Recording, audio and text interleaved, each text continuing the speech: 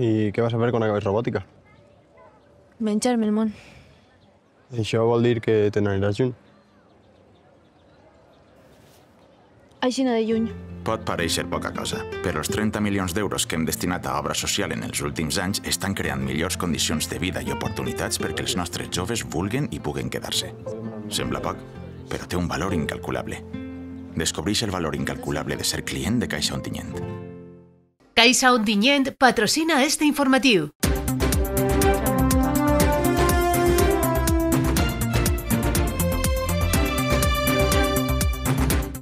Mesures a Gandia per a facilitar l'accés a l'habitatge. Emili Ripoll destaca la importància de la processó del divendres sant. Transformar baixos comercials en habitatges, posar sol municipal a preu pràcticament zero per a que els constructors edifiquen noves promocions, són només algunes propostes del nou paquet municipal de mesures per a frenar l'augment del preu de l'habitatge a Gandia. Ahir s'ha referit avui l'alcalde de Gandia, José Manuel Prieto, davant l'evidència que la capital de la Safor està registrant un increment inusitat de població. El socialista xifra este augment del nombre d'habitants en el doble de la mitjana nacional i apunta que cal abordar este problema per a donar-li una solució. Hem crescut en població, parlava del descens de l'atur, però a la vegada que hem sigut capaços de reduir l'atur, eh, som de les ciutats valencianes on més està creixent la població. El doble que la mitjana nacional i algo més d'un punt de pujada de població respecte a com està pujant la població en la comunitat valenciana, la demografia de la comunitat, eh, la posició de tindre més vivenda accessible o assequible per als ciutadans. L'alcalde de Gandia reconeixia a més que les mesures implementades per a facilitar l'accés al mercat de l'habitatge no tindran resultats immediats, però sí al llarg de la present legislatura. La idea és mobilitzar tot l'aparell municipal per a aconseguir complir, amb la màxima ambició, el repte de posar fi a la poca oferta. Jo vaig a ser igual d'honest, no anem a veure resultats immediats, i així, aquesta franquesa pot ser no resulta habitual, però és la franquesa que me serveix per a dir que sí que anem a veure resultats dins d'esta legislatura i, a més, resultats positius. Però jo crec que sí que hi ha algunes competències eh, ambicioses des del punt de vista municipal eh, que hem desplegat amb el màxim de les nostres ambicions, amb el màxim de la nostra capacitat tècnica, mobilitzant a tots els departaments de l'Ajuntament per a convertir aquest problema en un repte i en una oportunitat per als nostres ciutadans. El president de la Junta Major de Germandats de la Setmana Santa de Gandia, Emili Ripoll, ha passat aquest matí pels micròfons de Ràdio Gandia Ser per a comentar com han anat fins ara els actes i destacar tot el que queda per davant els pròxims dies. Emili Ripoll destacava la gran participació que s'està veient en tots els actes programats, com es va poder veure el diumenge de Rams.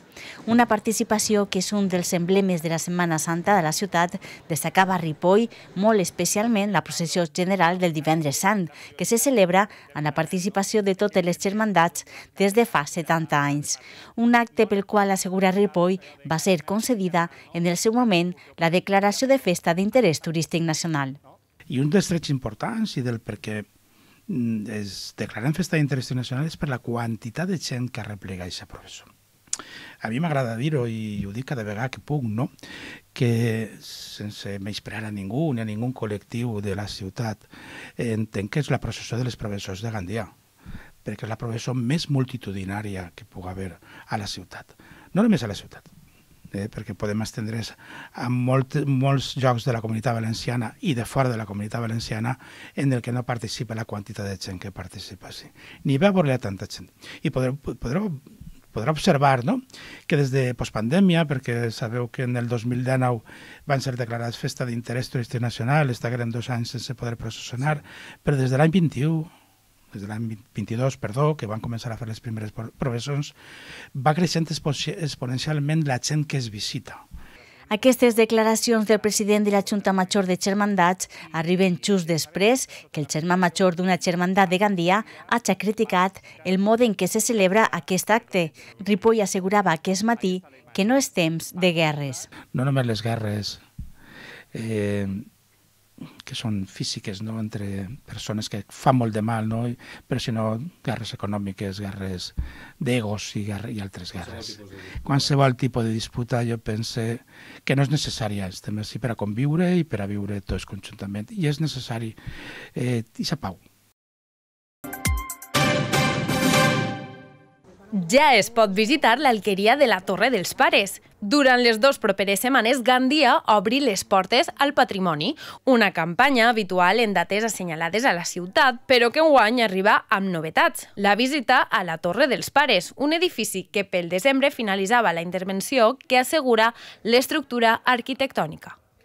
Pues en este cas, la Torre dels Pares és un edifici que ha acabat una primera fase d'obres, no està acabat, però com en aquest moment ja és segur anar a visitar-lo, perquè justament la inversió que hem fet assegura totalment l'estructura de l'edifici, jo crec que ens feia molta il·lusió i que eren unes dates bones per poder-lo obrir. La Torre dels Pares se suma així al Castell de Bairén, el Moravit, la Cova del Parpalló o el Museu Arqueològic de Gandia, com un element patrimonial més per a visitar a la ciutat. Concretament, els dos pròxims caps de setmana s'oferiran visites guiades i gratuïtes en les quals no serà necessària inscripció prèvia. Eh, de manera totalment senzilla, simple, fàcil, només cal anar allí només cal presentar-se allí, no n'hi ha que apuntar-se en ningú lloc, no n'hi ha que pagar res, simplement el presentes allí i allí estaran eh, els guies que ja en previsió de que pugui haver més gent de la, de la, de la prevista habitual, per habitual per a un grup, n'hi haurà diversos guies per si fa falta desdoblar els grups i que la gent no estiga massificada en una única visita.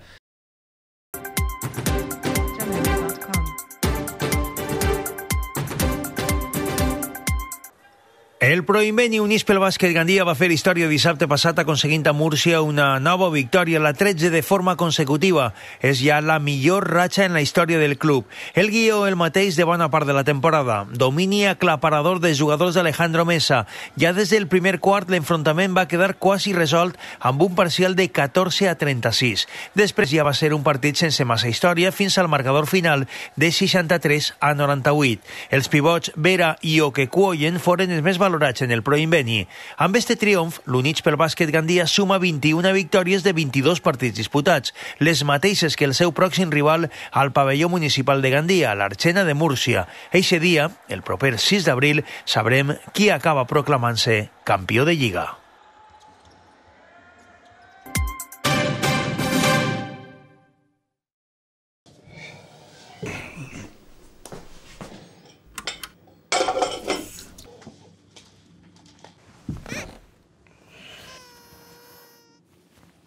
Pot pareixer poca cosa, però els 30 milions d'euros que hem destinat a obra social en els últims anys estan fent dels nostres pobles un lloc on els joves volen quedar-se i els majors se senten acompanyats.